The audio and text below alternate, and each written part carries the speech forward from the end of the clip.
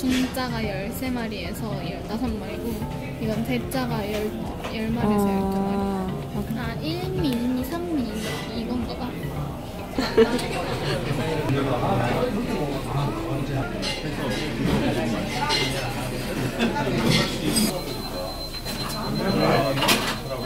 살은 소스에 묻혀서 드시면 되시고요.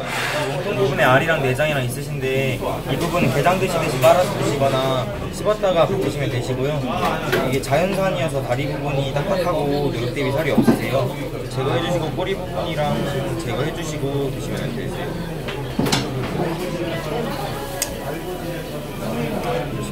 감사합니다.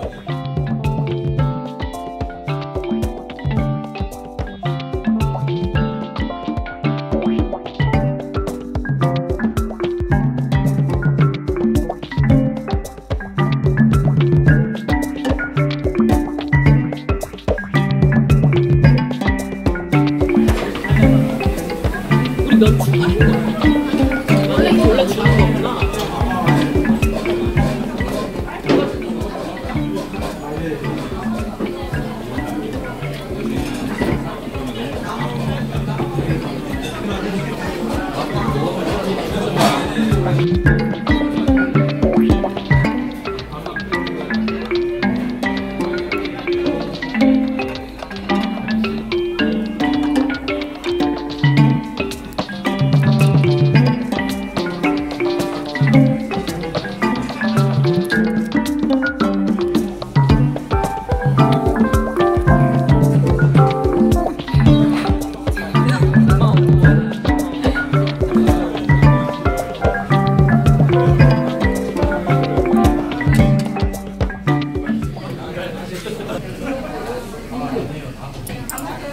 짠!